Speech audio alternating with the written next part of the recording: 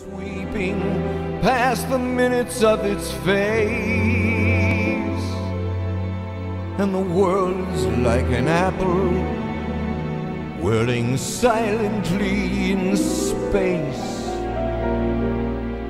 like the circles that you find